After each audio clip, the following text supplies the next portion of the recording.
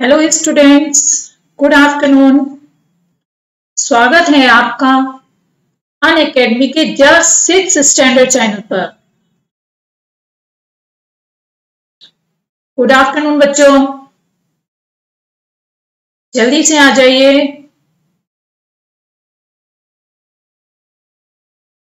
जल्दी से आ जाइए। गुड आफ्टरनून आप अपने स्कूल फ्रेंड्स और ट्यूशन फ्रेंड्स को हमारा लिंक शेयर कर दीजिए, जिससे कि वो भी हमारे साथ जुड़ जाएँ।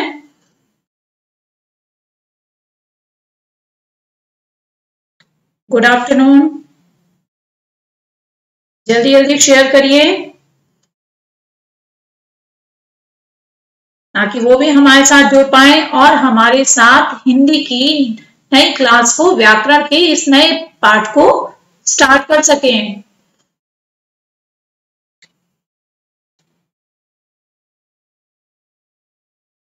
चलिए जल्दी से जो हमारे, हमारा वीडियो पहली बार देख रहे हैं, वो जस्ट सिक्स को सब्सक्राइब करना बिल्कुल ना भूलें। जस्ट सिक्स को सब्सक्राइब कर दीजिए। जिससे कि वहाँ पर जो टॉप एजुकेटर्स पढ़ा रहे हैं, वो उनको भी फॉलो कर सकें और वो उनसे भी पढ़ सकें। क्लास सिक्स के सारे सब्जेक्ट्स को वो पढ़ सकें।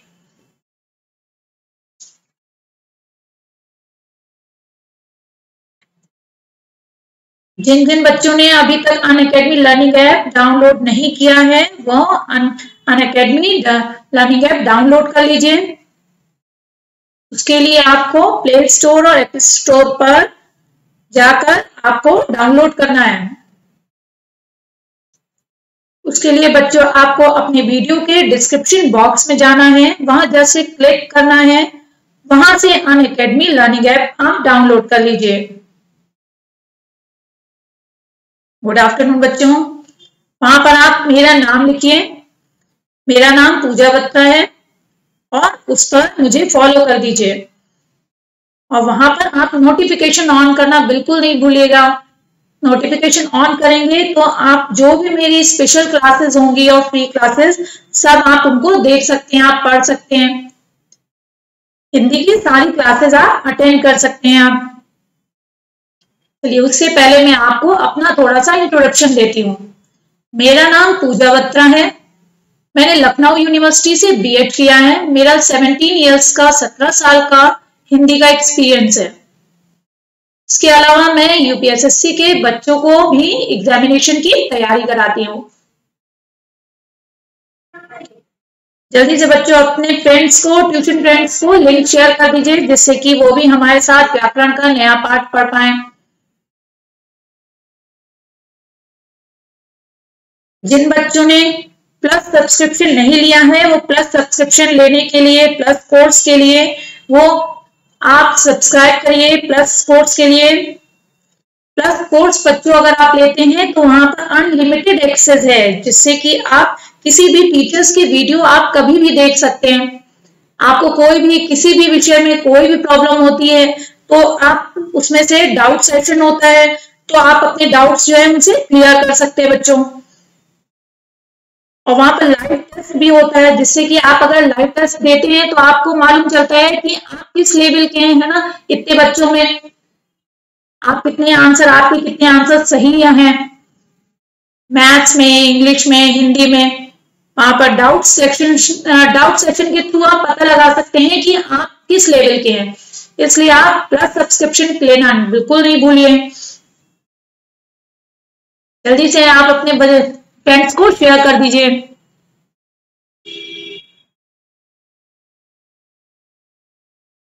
को मालूम है? अन अकेडमी लर्निंग प्लेटफॉर्म जो है, हमारा सबसे बड़ा प्लेटफॉर्म है, जिसपे कि आप टॉप एजुकेटर्स से पढ़ते हैं। टॉप एजुकेटर्स आपको सारे सब्जेक्ट्स पढ़ाते हैं। यहाँ पर केवल एक सब्जेक्ट नहीं है, आपको सारे सब्जेक्ट्स मिलते हैं। Hindi English maths social studies science सारे सब्जेक्ट्स आपको पढ़ाए जाते हैं। और अगर आपकी क्लास कोई छूट जाती है तो हम ऑफलाइन वीडियोस आप देख सकते हैं। यहाँ पर डेली लाइव क्लासेस होती हैं, जिसमें आप डाउट अपने क्लियर कर सकते हैं। अपनी गोल्स को पाने के लिए आपके सारे सब्जेक्ट्स आपको उसमें फोकस करके, आपको बेसिक से समझाया जाता है। लाइव टेस्ट होते हैं क्विज होती है अनलिमिटेड एक्सेस होती है, जो अभी मैंने आपको बताया, इससे पहले, है ना, आप टॉप एजुकेटर से पढ़ते हैं। और जब चाहे आप उनके वीडियोस आप देख सकते हैं। आपको यहाँ पर हिंदी हिंदी मैं पढ़ाती हूँ ना इंग्लिश सोशल स्टडीज़ साइंस सारे टीचर्स आपको टॉप एजुकेटर्स पढ़ाएँगे आपको।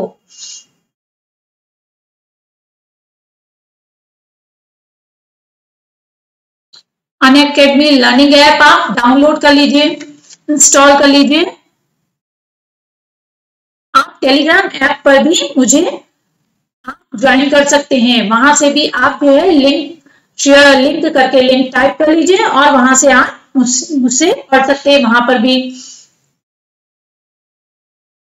क्लास सिक्स के बच्चों के लिए, ये देखिए कितना, सर, आप अगर सब्सक्रिप्शन प्लान लेते हैं, देखिए कितना इजी है आपके लिए, देखिए। वन मंथ का सब्सक्रिप्शन प्लान आपके लिए टू थाउज़ेंड फाइव हंड्रेड का है बच्चों केवल। और पर मंथ देखिए आपको सारे subject two thousand five hundred में पढ़ाए जा रहे हैं आपको। मैथ्स आप पढ़ते हो मैथ्स की ही केवल एक सब्जेक्ट की कितनी फ़ीस देते हो, है ना? और आपको यहाँ पर टू थाउज़ेंड फाइव हंड्रेड में सारे सब्जेक्ट्स बच्चों पढ़ाए जा रहे हैं।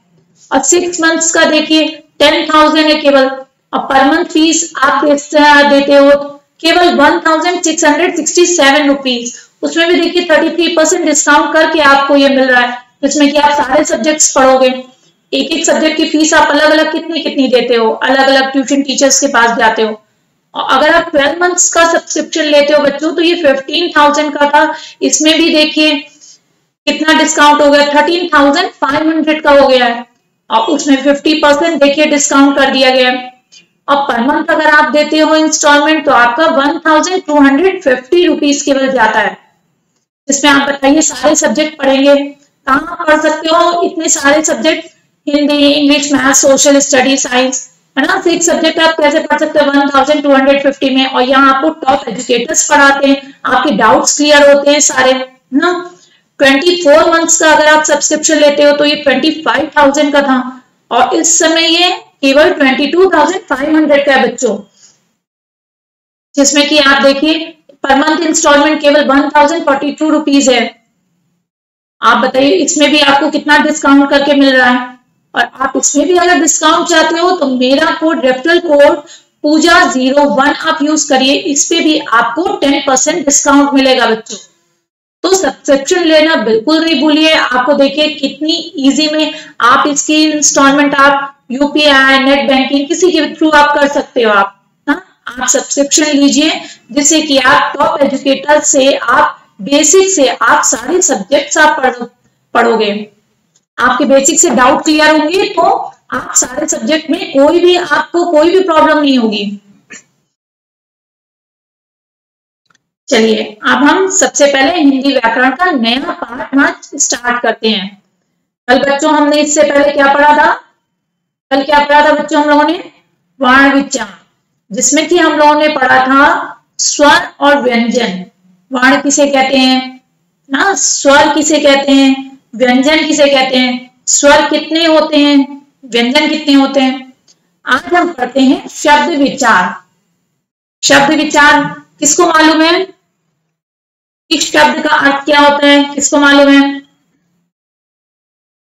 इससे पहले मैंने बताया था कि वर्ण किसे कहते हैं। आपको बताया था? वर्ण भाषा की सबसे छोटी इकाई वंश, वर्ण जो है, भाषा की इकाई है। है ना? भाषा की इकाई क्या है? वर्ण है। और वर्णों के योग से ही क्या बनता है? शब्द। वर्णों के योग से, जैसे का माला ये क्या है? वर्ण है।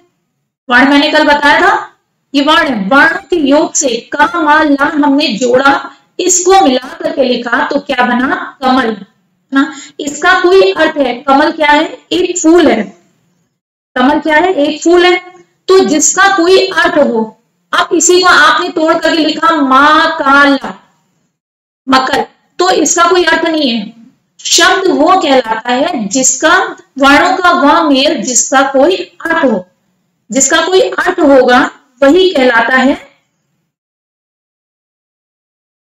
वर्णों का, जिसका कोई अर्थ हो, वही कहलाता है। शब्द कहलाता है वो।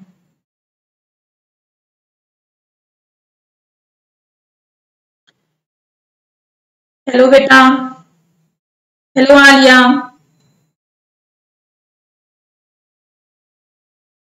हेलो अंकिता। नमस्ते बेटा। नमस्ते बेटा, नमस्ते अंकिता, नमस्ते आलिया। हेलो तन्मय। अभी देखिए, आगे पढ़ते हैं।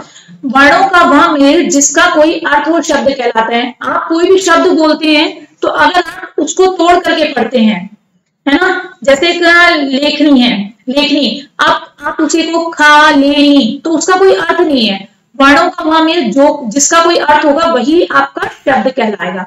अब देखिए वर्णों के मेल से बनी सार्थक ध्वनि शब्द कह होती है। कल मैंने बताया था कि ध्वनि किसे कहते हैं? ध्वनि किसे कहते हैं? जो आप, आपके बोलते समय जो आपके मुँह से निकलता है, उसे हम ध्वनि कहते हैं। वर्णों के मेल से जो सार्थक ध्वनि निकले, उसे कहते हैं शब्द। शब्द होती है। शब्द वर्णों के मेल से बनते हैं और निश्चित अर्थ प्रकट करते हैं। अभी मैंने ऊपर ही बताया, शब्द वह कहलाएगा जिसका कोई निश्चित अर्थ होता है। अगर उसका कोई अर्थ नहीं है तो वो शब्द नहीं कहलाएगा। जैसे कि इससे पहले मैंने उदाहरण दिया है आपको, माँ काला, है ना? अब जैसे बालक है, मैं आपको एक उदाहरण और देती हूँ, बालक। बालक, आपने तोड़ के वर्ण है बा ला का इसको तोड़ा ये वर्ण में वर्णों से क्या बना शब्द बना आपका? बालक। आप इसको अलग कर दीजिए जरा। ला पहले बोलिए बा का। अब इसका कोई अर्थ नहीं है। यानी कि अर्थात ये शब्द नहीं है। शब्द वही है जिसका कि निश्चित अर्थ होता है। अब ये देखिए, उदाहरण देखिए, गाय। गाय में आपके कितने वर्ण है? गा गा में आ की मात्रा। ये क्या है? या, आ। मैंने आपको कल स्वर और व्यंजन सिखाए थे। ठीक है? आपको याद होगा अभी इसमें कितने वर्ण है? गा, आ, या, आ। कितने हैं? चार वर्ण हैं इसमें। ला रा में आ की मात्रा, हा हा में ऊ की मात्रा, ला। ला में आ, ला बोलते हैं तो आ की ध्वनि आ रही है, छोटे आ की। इसमें कुल कितने वर्ण हैं? छह वर्ण हैं बेटा। तो इसको क्या कहेंगे हम? ये क्या है? उदाहरण आपकी, कितने वर्ण हैं? ये भी आपसे एग्ज़ाम में पूछा जाता है, आपको उदाहरण दिया जाता है, जैसे गाय दिया आपको तो इसको तोड़ करके लिखिए। वर्णों को अलग करिए। आपको एग्ज़ाम में ये आता है कि गाय को ये अलग वर्णों में अलग करिए तो आप इसमें बता सकते हो। ठीक है? अंकिता हम्म मकल हाँ इसका कोई अर्थ नहीं है। जैसे कमल मक, कमल पुष्प है और मकल का कोई अर्थ नहीं है। तो कमल हमारा शब्द हुआ। जैसे बालक है बालक हमारा शब्द हुआ क्योंकि उसका अर्थ है। अब इसी को लाभक कर दीजिए तो उसका कोई अर्थ नहीं होगा। चलिए आगे बढ़ते हैं हम। शब्द के भेद। शब्द के कितने भेद होते हैं? शब्द के भेद चार आधारों पर किए जाते हैं, है ना? शब्द के भेद पहले आपसे पूछा जाता है, शब्द के कितने भेद होते हैं? तो आप देखिए, पहला क्या है? उत्पत्ति के आधार पर। नंबर टू, नंबर दूसरा क्या है? रचना के आधार पर। नंबर थर्ड, प्रयोग के आधार पर। नंबर चार, अर्थ के आधार पर। शब्द के भेद भी आपको लिखने के लिए आते हैं। मैंने आपसे पहले बोला था कि आप कॉपी और पेन लेकर के बैठा करिए कि आपको जो मैं बताती जा रही हूँ, है ना? जो बेसिक से बताती जा रही वो आप नोट करते जाइए कि आपकी हिंदी व्याकरण में आपको ये आगे भी सिक्स से लेकर के जो आपकी हिंदी सीबीएसई से स्टार्ट होती है, आप किसी भी कंपटीशन में आप पार्टिसिपेट करते हैं तो आपसे ये बेसिक से पूछा जाता है। सिक्स टू एट तक में बहुत सारे क्वेश्चंस आपके आते हैं, जो आपको बेसिक आपको मालूम नहीं होता तो आप उसके आंसर नहीं दे पाते हैं। तो उसके लिए आप क्या, मैं आपको बेसिक से बता रही हूँ तो आपको मालूम होना चाहिए शब्द के भेद कितने होते हैं। स्वर कल मैंने बताया था, स्वर व्यंजन। स्वर कितने होते हैं, व्यंजन कितने होते हैं। ये आपको, कल भी मैंने बोला था तो ये आप नोट करते जाइए कि आपको कोई भी कंपटीशन आप आगे देते हैं तो नोट्स बनाते चलिए कि आपको प्रॉब्लम नहीं हो। हाँ ये देखिए पहला क्या है? अब आप बता सकते हैं कि कितने भेद होते हैं। और ये नोट डाउन कर लीजिए कि लिख लीजिए कि उत्पत्ति के आधार पर, रचना के आधार पर, प्रयोग के आधार पर अर्थ के आधार पर। ठीक है? अब आगे बढ़ते हैं हम उत्पत्ति के आधार पर। उत्पत्ति के आधार पर कितने भेद होते हैं? ये देखिए। उत्पत्ति के आधार पर तत्सम, तद्भव, देशर और विदेशी। उत्पत्ति के आधार पर कितने भेद होते हैं? हमारे तत्सम, तद्भव देशज विदेशी। ये नोट कर लीजिए। इसके बाद मैं आपको इसमें बताती हूँ तत्सम क्या होते हैं, तद्भव क्या होते हैं देशज और विदेशी शब्द क्या होते हैं। ये आपको बताती हूँ। ये नोट कर लीजिए। शब्द के चार भेद होते हैं। Very good Ankita. चलिए आगे बढ़ते हैं। तत्सम। तत्सम क्या है? Sanskrit words used in Hindi वह शब्द जो संस्कृत भाषा के हैं और जो हिंदी में वैसे ही प्रयोग किए जाते हैं, उन्हें हम क्या कहते हैं? तत्सम कहते हैं। यानी वो हमारी किससे? संस्कृत भाषा से वो लिए गए हैं हमारी। लेकिन जो हिंदी में हम प्रयोग करते हैं तो हिंदी में हम वैसे ही प्रयोग कर लेते हैं। उदाहरण देखिए इसका। तत्सम का आपको परिभाषा मोस्टली कभी कभी आ जाती है, लेकिन आपसे इसके उदाहरण पूछे जाते हैं, तत्सम से तद्भव चेंज करने के लिए बदलने के लिए, तद्भव से तत्सम चेंज करने के लिए बदलने, ये आपसे पूछा जाता है। तो ये आप अच्छी तरीके से समझ लीजिए। इसमें क्या जैसे भूमि, तत्सम शब्द है। भूमि को हम और क्या कहते हैं? पृथ्वी भी कहते हैं, है ना? भूमि, ये संस्कृत भाषा का है, ठीक है? जल, वानर, रात्रि है ना? ये सब क्या है? आपके तत्सम शब्द हैं ये संस्कृत भाषा के हैं और लेकिन हिंदी में हम ऐसे ही प्रयोग कर सकते हैं। जल आप यूज़ कर, आप इसका प्रयोग कर सक, करते हैं जैसे राम जल पी रहा है राम की जगह जल की जगह पानी भी प्रयोग करते हैं है ना? तो ये जल आपका कहाँ से लिया गया? संस्कृत भाषा का वर्ड है। और हिंदी में वैसे ही वो प्रयोग किया जा रहा है। तो तत्सम शब्द आप अच्छी तरीके से समझ लीजिए, ठीक है? अब जैसे अंकुर है, उच्च है, चंद्रमा है, आप चंद्रमा ही मोस्टली यूज़ करते हैं, है ना? शशि ये नहीं यूज़ करते हैं, इसका प्रयोग नहीं करते शशि का, आप चंद्रमा ही। और चंद्रमा किसमें से लिया गया वो संस्कृत शब्द है हमारा, संस्कृत भाषा से लिया गया है। उसे हम क्या कहते हैं? जो शब्द संस्कृत भाषा के हैं और हिंदी में वैसे ही प्रयोग करेंगे, वो क्या कहलाएँगे? हमारे तत्सम शब्द कहलाएँगे। छियासी मैं ठीक हूँ, बेटा आप कैसे हो? आगे देखते हैं, तद्भव शब्द। Sanskrit words change to Hindi तद्भव। तद्भव आपको बोलने से ही लग रहा है ये दो शब्दों से मिलकर बना है, तद और भव। तद मैंने क्या होता है? उससे तद का अर्थ क्या होता है? उससे और भव का अर्थ क्या होता है? होना। ये शब्द किसके हैं? संस्कृत भाषा के होते हैं। लेकिन हिंदी भाषा में थोड़े बदले हुए रूप में प्रयोग किए जाते हैं। ये मूलतः जो हमारे शब्द हैं, वो है संस्कृत भाषा के। लेकिन जब हम हिंदी भाषा में थोड़े बदल करके, थोड़े चेंज करके उसको यूज़ कर देते हैं, उसका प्रयोग करते हैं, उसे हम कहते हैं तद्भव। इसको उदाहरण के द्वारा समझिए आप, जैसे दही, नाक, हवा, बंदर। अब जैसे अश्रु आप बोलते हैं, अश्रु को से क्या बना? आँसू बन गया। सुपुत्र से सपूत बना। ये सब क्या है? हमारे, है संस्कृत भाषा के अशु हमारा क्या है? संस्कृत भाषा का है। लेकिन हमने जो है इसको, ये संस्कृत भाषा का है, लेकिन जो है हमने इसके बदल दिया इसको थोड़ा सा हिंदी में। अग्नि है, अग्नि को आप, हिंदी के तद्भव शब्द में आग, प्रथम मैंने क्या होता है, आप पहला प्रथम भी आप हिंदी में जब प्रयोग करते हैं तो आप उसमें प्रथम भी लिखते हैं और पहला भी लिखते हैं। है ना? ये प्रथम जो है, हमारा संस्कृत भाषा का शब्द है। लेकिन हिंदी भाषा में हम थोड़ा बदल करके उसे प्रयोग कर देते हैं। तो क्या हो जाता है, उसका हिंदी का तद्भव शब्द हो जाता है, तत्सम का तद्भव। रात्रि रात्रि को आप रात, हिंदी में आपने वो संस्कृत शब्द है रात्रि, आपने उसको बदल दिया रात में तो वो क्या हो गया, उसका तद्भव शब्द हो गया। मयूर मयूर मैंने मोर, है ना? संस्कृत संस्कृत ग्रह ग्रह मैंने क्या होता है, घर होता है। ग्रह क्या है हमारा? ये सब क्या है? संस्कृत शब्द है। और इन्हीं को हमने थोड़ा सा बदल दिया हिंदी में तो वो क्या कहलाते हैं? तद्भव शब्द कहलाते हैं। ये अच्छी तरीके से याद कर लीजिए। जैसे छिद्र छिद्र का तद्भव शब्द क्या होगा? छेद होता है। अब घृत घृत का तद्भव शब्द क्या होता है? घी होता है। है ना? हाँ। नग्न, मैंने नंगा। मयूर, मोर। आप क्या हस्त आप हस्त यूज़ कर हस्त का प्रयोग करते हैं, संस्कृत भाषा में तो हस्त का तद्भव क्या होगा? हाथ होता है। मस्तक आप यूज़ करते हैं, मस्तक का प्रयोग करते हैं आप। मस्तक मैंने क्या होता है? माथा होता है, उसका तद्भव क्या होता है? माथा होता है। अब आप ये कभी नहीं भूलिएगा, ये आपको तत्सम तद्भव आपके एग्ज़ाम में ज़रूर आते हैं। आपको ये फाइव मार्क्स का ज़रूर आता है आपके एग्ज़ाम में। अब तो आपके फाइनल एग्ज़ाम मार्च में होंगे। तो आप उसके लिए अच्छे से तत्सम तत्व ये व्याकरण में संज्ञा, सर्वनाम, विशेषण, इनमें से ज़रूर क्वेश्चंस आते हैं। फाइव फाइव मार्क्स की, पाँच पाँच नंबर की ग्रामर तो आपको ये सब आते हैं। और अगर आप इसमें पूरे नंबर लाना चाहते हैं तो बेसिक से मैं आपको बता रही हूँ तो आप ये नोट करते जाइए बेटा।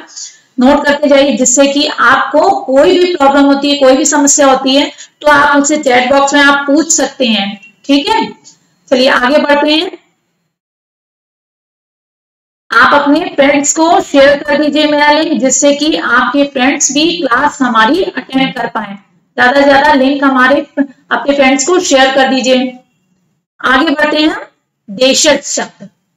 देशज से आपको पता चल रहा है, आप इसका क्या है? देश में उत्पन्न हुए शब्द। क्या है? देश में उत्पन्न हुए शब्द। वे शब्द जो हिंदी भाषा में अन्य शब्द से जुड़े हैं। वो क्या जो हमारे देश में ही उत्पन्न हुए हैं, हमारे देश के हैं, जो हम लोग सब बोलते हैं हिंदी भाषा में, जो हमारे देश के हैं पर्टिकुलर हमारे देश के ही हैं, उनको हम कहेंगे क्या? देश शब्द। जो शब्द किसी क्षेत्र विशेष की विभिन्न बोलियों में हिंदी में आकर प्रयोग होने लगे हैं, वो कहलाते हैं देश शब्द। अब जैसे खिड़की, आप इसका नॉर्मल प्रयोग करते हो खिड़की, पगड़ी लड़का, रोटी, ये सब हमारे देश में ही उत्पन्न हुए शब्द हैं। इनको हम देशज शब्द कहते हैं। देशज शब्द भी आपको छांटने के लिए आते हैं कि इसमें से देशज शब्द कौन से हैं। अब आपको कुछ देशी शब्द दे दिए, कुछ विदेशी दे दिए। आपको उसमें से अलग करना है, देशी शब्द जो है वो अलग करिए और विदेशी अलग करिए। तो आप अलग कर सकते हैं। देशी देशज शब्द वो कहलाएँगे जो आपके देश में उत्पन्न हुए ना जो आपके देश से जुड़े हुए हैं। और विदेशी शब्द जो बाहरी देशों से वो अभी हम आगे आपको बताते हैं, जो बाहरी देशों से शब्द जुड़े हुए हैं, वो क्या कहलाएँगे आपके? विदेशी शब्द कहलाएँगे। विदेशी शब्द देखिए इसका अर्थ क्या होता है? बाहरी देशों में उत्पन्न हुए शब्द। जो शब्द हमारी विदेशी भाषाओं से हिंदी में लाए गए हैं, आप बोलते हैं, आप रोज बोलने वाले शब्द भी कितने आप इंग्लिश में बोलते हैं, अंग्रेज़ी में बोलते हैं, है ना? तो उसे क्या? अंग्रेज़ी में, अरबी में, फारसी में, है ना? कितने लोग अरबी, फारसी, आपके? तो वो शब्द हमारे बाहर से लाए हुए हैं। जो भी हमारे बाहर से शब्द लाए हुए, वो सारे शब्द क्या कहलाता है, कहलाते हैं हमारे? विदेशी शब्द कहलाते हैं, विदेशज। आपको ये छाटे भी आएँगे तो आप एक बार समझ लेंगे तो आप इसमें मिस्टेक, गलती कभी भी नहीं करेंगे आप। अब इसके उदाहरण देखिए, अंकल। अंकल को आप देखिए, आप हिंदी देश शब्द में चाचा, है ना? चाचा कहते हैं। और आप, आपने विदेशी शब्द लिया, क्या लिया? अंकल। ये क्या हो गया हमारा? विदेशी शब्द। कॉलेज, डैडी, आप पापा कहते हैं। ये क्या हमारा देश शब्द हो गया? डैडी, है ना? ये आपका शब्द क्या हुआ? विदेशी शब्द हो गया। पेंसिल, पेन कलम आप कहते हैं तो हमारा क्या हो जाएगा? कलम अगर छाटने के लिए आता है, वो आपका देशज शब्द है। अगर आपका इसमें आता है, पेन आया तो आपका क्या हो गया? विदेशज शब्द। कंप्यूटर, ये सब क्या है हमारे? विदेशज शब्द हैं, विदेशज। आप जैसे अभी फारसी के शब्द हैं, ये भी सारे हमारे विदेशी शब्द हैं। अभी फारसी में आपके देखिए, गुलामी, आसमान, आदमी, बीमार ये सब आपको छांटने के लिए आते हैं। तो ये आपके क्या है? हमारे सारे क्या है? विदेश शब्द हैं। उसके अलावा भी देखिए, अरबी में शब्द हैं, फारसी में, पुर्तगाली में शब्द हैं। वह सब शब्द हमारे क्या है? विदेश शब्द हैं। तो आप ये अच्छी तरीके से समझ लीजिए और अपनी कॉपी में नोट कर लीजिए, लिख लीजिए कि देशी शब्द क्या होते हैं और विदेशी शब्द क्या होते हैं। क्योंकि अभी आप अभ्यास कार्य करेंगे तो उसमें आपसे पूछा जाएगा कि देशी शब्द कौन से हैं, विदेशी शब्द कौन है है ना? हाँ देशी शब्द हाँ किताब, सही है, देशी चाचा, विदेशी अंकल। आगे देखिए, रचना के आधार पर। रचना के आधार पर कितने प्रकार होते हैं? ये तीन प्रकार के होते हैं। शब्द कितने प्रकार के होते हैं? तीन। रूढ़ शब्द, यौगिक शब्द और योग, रूढ़ शब्द। ठीक है? ये भी आपसे पूछा जाता है कि रचना के आधार पर कितने भेद होते हैं। तो आप बता सकते हैं कि तीन भेद होते हैं। ये नोट कर लीजिए। रूढ़ शब्द किसे कहते हैं? ऐसे शब्द जिसके टुकड़े करने पर कोई अर्थ नहीं निकलता है, उसको हम क्या कहते हैं? रूढ़ शब्द कहते हैं। इनको आप उदाहरण के द्वारा समझेंगे तो आपको समझ में आ जाएगा। सार्थक जिसके खंड नहीं किए जा सकते, जिसके ये दिन है। दिन को आप तोड़िए, अलग करिए। द ना। आपने दिन को अलग किया तो द और ना, दी और ना का कोई अर्थ आपको नहीं मिल रहा है। सारा का सारा का आपने अलग किया, इसमें से कोई भी आपको अर्थ नहीं मिलेगा सार्थक जिसके कि आप उसको अर्थ आप लिख पाए। तारा, ता और रा, इसका आपको पर्टिकुलर कोई भी अर्थ नहीं मिल रहा है। टेढ़ टेढ़ा तो ऐसे शब्द जिनका कोई अर्थ प्रकट नहीं होता है, वह शब्द कहलाते हैं क्या? हमारे रूढ़ शब्द कहलाते हैं। जैसे उसके अलावा लीजिए, हाथी। हा को आपने अलग किया, थी को अलग किया। तो हाथी का, हा, अलग का हा की कोई मीनिंग है? नहीं कोई भी अर्थ नहीं है। थी का कोई अर्थ है? थी का भी कोई अर्थ नहीं है। तो वो सब क्या कहलाए हमारे? रूढ़ शब्द, क्योंकि इसका कोई अर्थ नहीं है। आप टुकड़े करिए और उसका कोई अर्थ नहीं निकले तो वो क्या कहलाएगा? हमारा रूढ़ शब्द कहलाएगा। आप अपने फ्रेंड्स को, राजेंद्र धानु गुड आफ्टरनून बेटा, आप अपने फ्रेंड्स को शेयर कर दीजिए जिससे कि वो भी बेसिक से आपको हिंदी ग्रामर जो मैं पढ़ा रही हूँ, हिंदी व्याकरण, वह पढ़ पाए। ना और सब्सक्राइब करना बिल्कुल ना भूलिए। सब्सक्राइब करते रहिए हमारे चैनल को और बेल आइकन प्रेस करना बिल्कुल ना भूलिए। आगे बढ़ते हैं, यौगिक शब्द। यौगिक शब्द का क्या अर्थ होता है बच्चों? यह है दो या दो से अधिक सार्थक शब्दों के मेल से बने होते हैं। खंड करने पर भी उनका अर्थ निकलता है। अर्थात जो दो सार्थक शब्द हैं, जो दो शब्दों से मिलकर बने हैं, उनको आप अलग करते हैं, तोड़ते हैं। और उसका भी कोई सार्थक कोई अर्थ निकल करके आए तो उसको हम क्या कहते हैं? यौगिक शब्द कहते हैं। ठीक है? आगे आप देखिए। इसके उदाहरण द्वारा समझिए, आपको देखिए, समझ में आ जाएगा।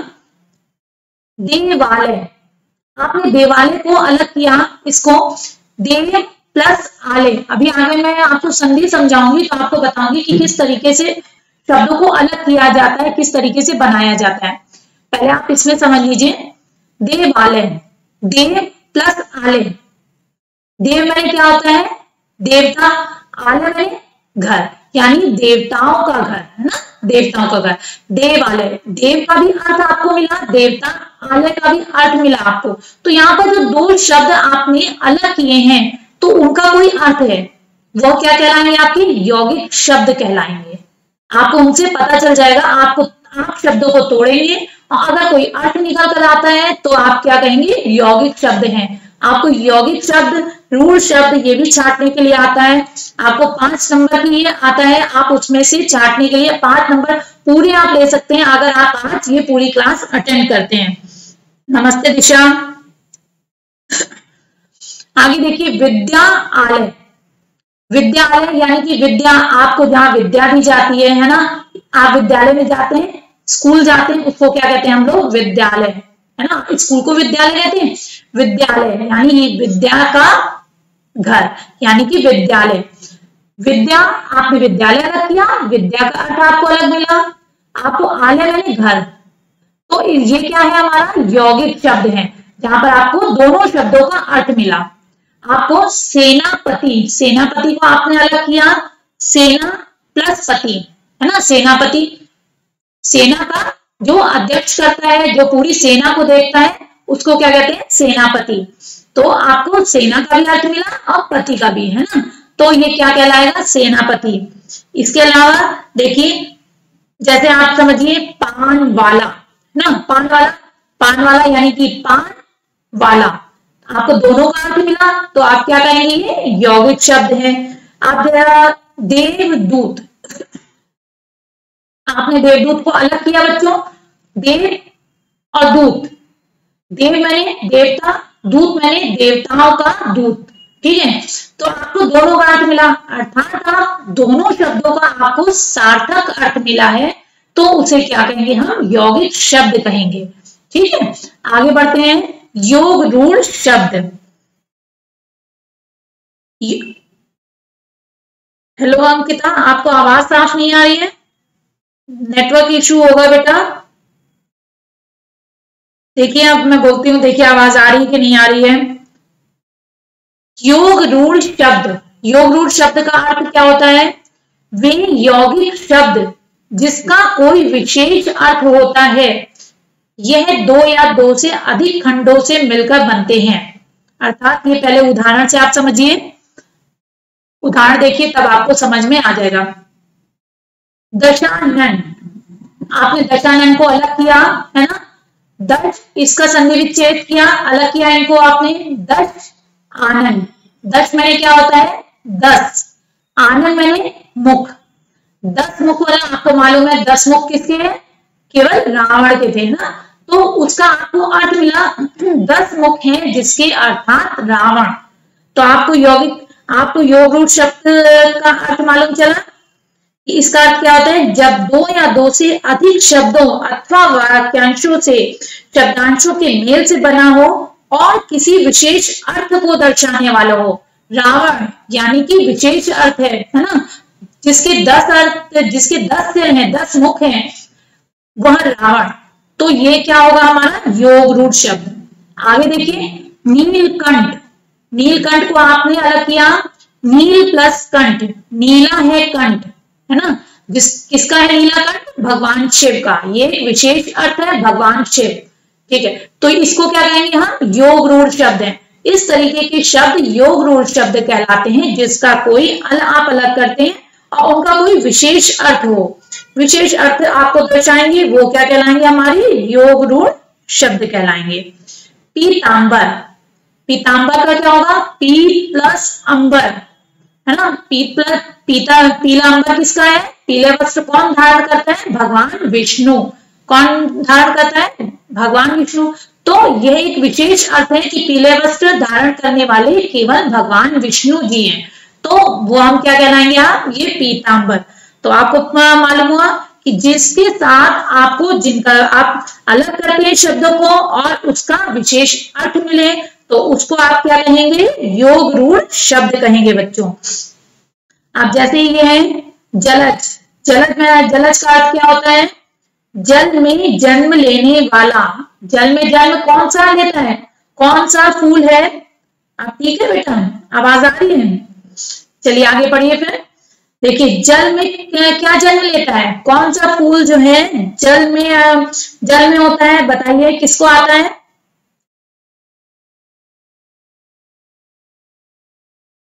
कौन सा फूल होता है? जलज। जलज में कमल, है ना? कमल हमारा फूल कौन से, किसमें होता है? केवल जल में। तो ये क्या है? कमल। आपका विशेष अर्थ है उसका तो आप उसको क्या कहेंगे? योग रूढ़ शब्द। अब आपको ये छाटने के लिए आएँगे। रूढ़ शब्द, यौगिक शब्द, योग रूढ़ शब्द। ये तीनों आपको जैसे टेन वर्ड्स आपको दस शब्द दे दी गए एग्ज़ाम में, आपको रूढ़ शब्द अलग निकालने हैं, यौगिक अलग निकालने योग रूढ़ अलग निकालने तो आप आराम से इसको इजीली आप निकाल सकते हैं, ठीक है? अलग अलग कर सकते हैं। है ना? आप देखिए, आप अभ्यास कार्य के थ्रू आप बताइए जरा कि हमारे आपने अभी तक पूरे लेसन में आपने क्या क्या किया? पूरे पूरे लेसन में आपने क्या क्या किया? एक मिनट।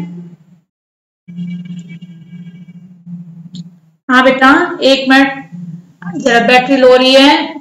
एक मिनट बेटा बस। हाँ आगे हम अभ्यास सारे कराते हैं।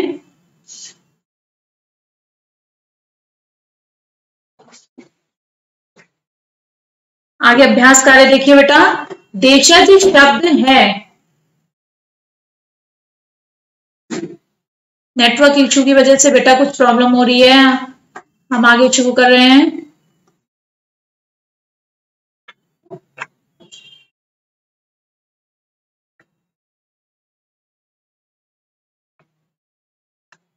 आगे चलिए, अभ्यास कार्य शुरू करते हैं हम। आगे बताइएगा। देशज शब्द है।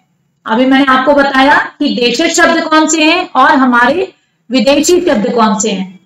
अब आप बताइए, खिड़की और गमला। खिड़की और गमला में से कौन सा शब्द है देश शब्द?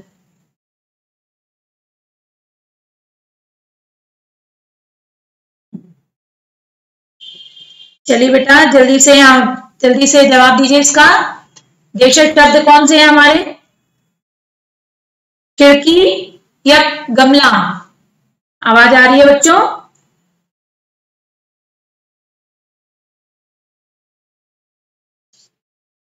खिड़की और गमला में से कौन सा है? देशज शब्द।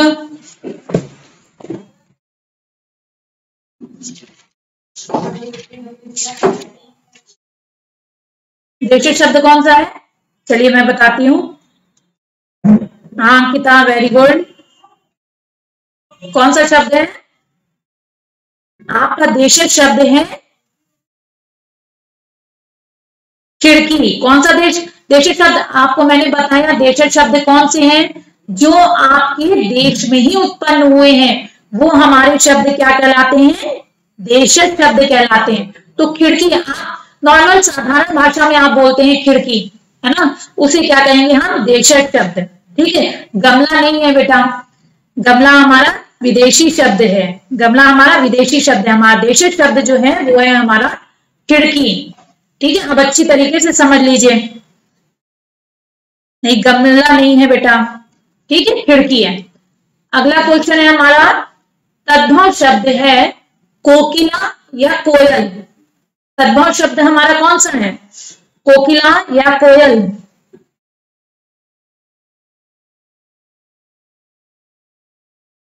तद्भव शब्द कौन सा है?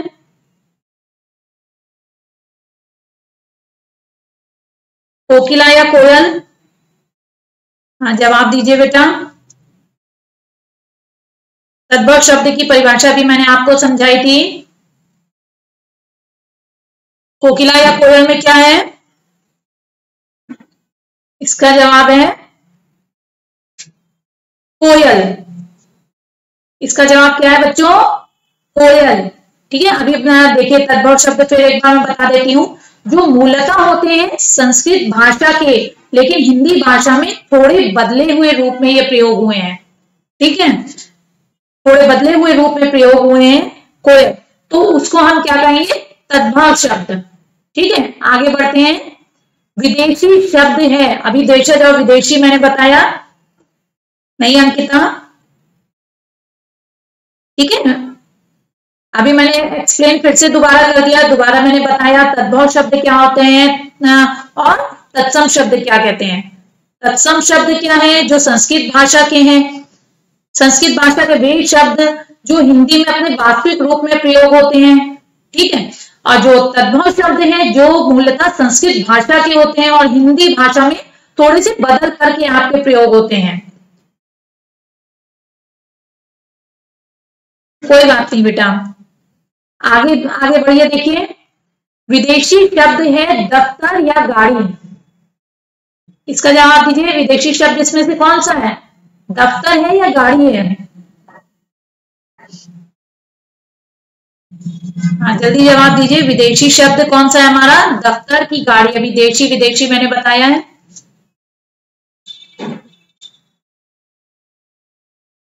इसका जवाब है दफ्तर, है ना? विदेशी शब्द कौन सा है हमारा? दफ्तर। ठीक है? आपका देशी शब्द अगर अभी इसमें कार्यालय आ जाता तो आपका देशी शब्द होता। आपका दफ्तर है, ना? आप अंग्रेज़, है ना? आप इसको क्या कहोगे? विदेशी शब्द है। ठीक है? अभी मैंने देशी विदेशी भी मैंने बताया आपको। आगे बढ़ते हैं। वे यौगिक शब्द जिनका विशेष अर्थ होता है, वो शब्द क्या कहलाते हैं? बताइए। रूढ़ शब्द कहलाते हैं कि योग रूढ़ शब्द कहलाते हैं। जिनका कोई विशेष अर्थ होता है। रूढ़ शब्द कहलाते हैं कि योग रूढ़ शब्द कहलाते हैं। अभी मैंने इसके उदाहरण भी आपको दिए थे। आपको थोड़ी सी हिंट देती हूँ मैं। कमल मैंने अभी दिया था। पीताम्बर दिया था उसका उदाहरण। बताइए इसके कौन से शब्द हैं? योग रूढ़ शब्द है या रूढ़ शब्द है, जिसका कोई विशेष अर्थ होता है? जिसका कोई विशेष अर्थ होगा, मैंने पीताम्बर बताया, जलज बताया, नीलकंठ बताया।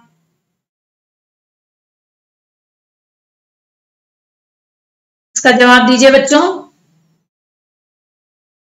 योग रूढ़ शब्द क्या है? जिसका विशेष अर्थ होता है, मैंने भी आपको बताया पीतांबर। पीला है अंबर जिसका, नीलकंठ, नीला है कंठ जिसका, भगवान शंकर का, है ना? दशानंद दस है आनंद जिसके, रावण के। तो इसका एक विशेष अर्थ है, और विशेष अर्थ वाले शब्द क्या कहलाएँगे हमारे? योग रूढ़ शब्द कहलाएँगे। या आप अभी भी कंफ्यूज हो रहे हैं, ये अच्छी तरीके से आप समझ लीजिए कि आपको कोई भी शब्द छांटने के लिए आता है आपको एग्ज़ाम में तो आप आराम से इजीली कर सकते हैं। आपको कोई भी प्रॉब्लम नहीं होगी। आप इसको इसमें पूरे पूरे नंबर मिलेंगे। आगे बढ़ते हैं। स्नान ग्रह शब्द है। स्नान ग्रह शब्द बताइए, क्या है? यौगिक की योग रूढ़।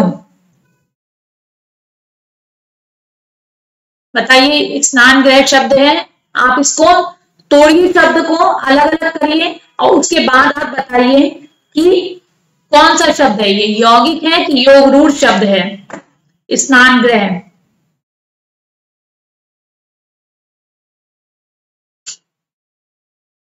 जल्दी बताइए, इसको अलग करिए स्नान ग्रह को अलग करिए कौन सा शब्द है स्नान ग्रह हमारा? स्नान ग्रह को आपने अलग किया। स्नान और ग्रह। जहाँ पर आप स्नान करते हैं स्नान करने का स्थान, है ना? ठीक है, आगे क्या हुआ? यौगिक की योग रूढ़ हुआ। यौगिक की परिभाषा क्या होती है? जिन शब्दों की रचना दो या दो से अधिक शब्दों की सार्थक खंडों से होती है ना? उसको क्या कहते हैं? स्नान और ग्रह। आपने अलग किया स्नान का अर्थ नहाना, ग्रह मैंने घर ठीक है, अब दोनों का अर्थ आपने अलग अलग लिया तो ये क्या होगा हमारा? यौगिक शब्द होगा। क्या होगा हमारा? यौगिक शब्द होगा। ये अच्छी तरीके से समझ लीजिए। स्नान ग्रह हमारा क्या हुआ? यौगिक शब्द हुआ। आगे बढ़ते हैं आसमान भाषा का शब्द है। आसमान बताइए। फारसी भाषा का हमारी शब्द है कि अरबी भाषा का शब्द है हमारे? जल्दी बताइए। आसमान हमारी किस भाषा का शब्द है? फारसी की अरबी? आपको ये अभी मैंने बताए भी हैं वर्ड्स आपको शब्द, आसमान हमारा किस भाषा का शब्द है? आसमान हमारा फारसी भाषा का शब्द है। ये आपको आसमान शब्द आता भी है एग्ज़ाम में, आपकी परीक्षा में पूछा जाता है। ये मैंने आपके पेपर्स में देखा भी था कि ये किस उसमें मिला है? नहीं, अरबी भाषा का बेटा शब्द नहीं है, अंकिता। ये फारसी भाषा का शब्द है। आसमान किस भाषा का शब्द है? फारसी भाषा का शब्द है। ठीक है, आगे बढ़ते हैं हम। घोड़ा शब्द है। घोड़ा बताइए, किस भाषा का शब्द है हमारे? योग रूढ़ की रूढ़। योग रूढ़ की रूढ़ भाषा का शब्द है। घोड़ा आप अलग करिए और आप बताइए, घोड़ा शब्द का विच्छेद करिए, अलग करिए। और उसको बताइए, तोड़ करके बताइए, विच्छेद करके कि वो योग रूढ़ शब्द है कि रूढ़ शब्द है? उसका कोई अर्थ निकल रहा है? या उसका कोई विशेष अर्थ निकल रहा है? या उसका कोई कोई अर्थ नहीं निकल रहा है? इन तीनों से आपको मालूम चल जाएगा कि यो घोड़ा जो है, कौन सा शब्द है। इसका जल्दी से जवाब दीजिए। घोड़ा शब्द कौन सा है हमारा? रूढ़ शब्द है। आप घोड़ा को देखिए, अलग करिए, इसका विच्छेद करिए। घोड़ा घोड़ा, घो का कोई अर्थ नहीं है ड़ा का कोई अर्थ नहीं है। आप इसका विच्छेद करने पर दोनों शब्दों का कोई अर्थ नहीं निकल रहा है। तो ऐसा शब्द जिसको विच्छेद करने पर, आपको अलग करने पर, खंड करने पर, आपको और कोई अर्थ नहीं मिले, और जिसके कोई आप, उसके खंड ही नहीं किए जा सकते, घोड़ा के। तो उसको हम क्या कहेंगे? रूढ़ शब्द कहते हैं ना। उसको क्या कहते हैं? रूढ़ शब्द। ये आप अच्छी तरीके से जान लीजिए। रूढ़ शब्द किसे कहते हैं? यौगिक शब्द और योग रूढ़ शब्द कहते हैं। इसमें आप बहुत कंफ्यूज हो रहे हैं और इसमें आता भी है ये। ठीक है, आगे देखते हैं। पौत्र का तद्भव शब्द है। पौत्र मैंने क्या होता है? पिता की पोतंग पौत्र का तद्भव शब्द है। अभी मैंने तत्सम से तद्भव बदलने के लिए आपको ही पाँच नंबर का प्रश्न आता है। या आप अच्छी तरीके से तत्सम तद्भव कर लीजिए कि आपको कोई भी परेशानी ना हो, आप एग्ज़ाम में आपको ये पूरे पूरे नंबर, पाँच नंबर मिल जाए। आप ग्रामर में आपको मालूम है, व्याकरण में पूरे पूरे नंबर मिलते हैं। अगर आपने ग्रामर बेसिक से अच्छे से अगर सीख लिया आपको तो कोई आपको परेशानी नहीं होती है। और मैं आपको बेसिक से समझा रही हूँ कि आपकी व्याकरण अच्छी हो जाए, कि आप आगे टेंथ ट्वेल्व के बाद, ट्वेल्थ के बाद आप किसी कंपटीशन में जाएँ, आप आगे तो आपको कोई भी इसमें समस्या नहीं हो। पौत्र का तद्भव शब्द क्या है बच्चों? पिता या पोता। पौत्र का तद्भव शब्द है, पिता नहीं होता है बेटा। क्या होता है? पोता। पौत्र में क्या होता है? पोता। ये सब आपको शब्द आते हैं तत्सम से, तद्भव में चेंज करने के लिए, बदलने के लिए। तो आप अच्छी तरीके से इनको याद कर लीजिए। पौत्र का क्या होता है? पोता होता है तद्भव शब्द। ये आगे बढ़ते हैं हम। शब्द के भाग होते हैं। शब्द के कितने भाग होते हैं? शब्द के कितने भाग होते हैं? अभी मैंने सबसे पहले आपको बताया, शब्द के कितने भाग होते हैं? तीन या चार। शब्द के कितने भाग होंगे? ये आपसे एग्ज़ाम में पूछा जाता है, शब्द के कितने भाग होते हैं और आपसे नाम भी पूछे जाते हैं उनके। आप उनके नाम लिखिए। ये तीन नंबर का प्रश्न आपको आता है। शब्द के भाग होते हैं तीन या चार? जल्दी बताइए वेरी गुड अंकिता। शब्द के कितने भाग होते हैं? चार भाग होते हैं। कितने होते हैं? चार भाग होते हैं। और कौन कौन से भाग होते हैं? अभी मैंने आपको बताया भी, उत्पत्ति के आधार पर, है ना? अभी आपको मैंने बताया चारों भाग। अच्छी तरीके से नोट कर लीजिए कि आपको उसमें से अलग अलग पूछा जाता है तो आप बता पाए। आगे हमारा क्वेश्चन है। आगे का हमारा अगला क्वेश्चन है। दो या दो से अधिक वर्णों के सार्थक मेल को क्या कहते हैं हम? शब्द कहते हैं या वाक्य कहते हैं? दो या दो से अधिक सार्थक शब्दों के मेल को हम क्या कहते हैं? शब्द या वाक्य कहते हैं। जल्दी बताइए।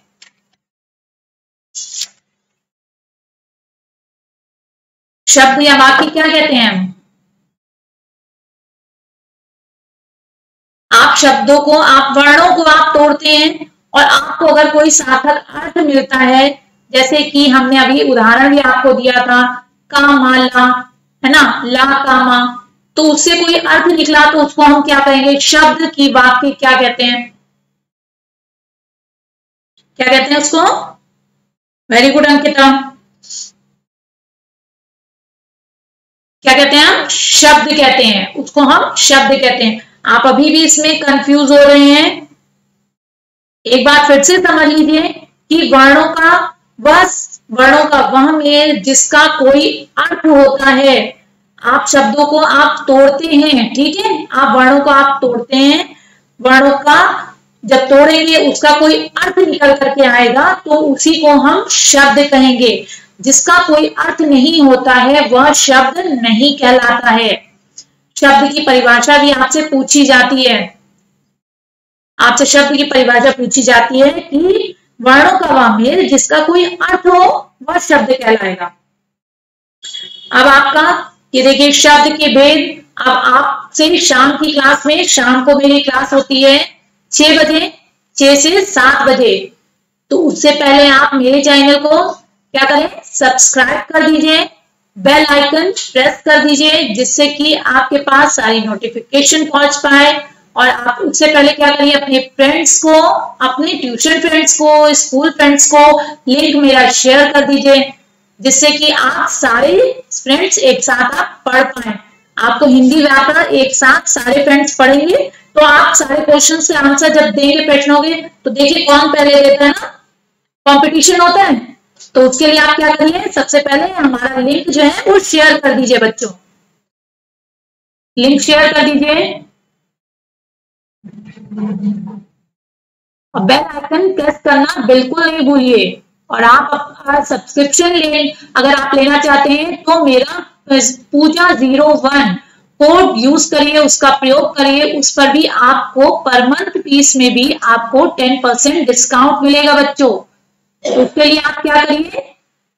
सब्सक्रिप्शन ले लीजिए, जिसमें आपको सारे सब्जेक्ट्स आपको पढ़ाए जाएँगे। ठीक है? चलिए सब्सक्राइब कर दीजिए। थैंक यू बच्चों। शाम को मिलेंगे आप।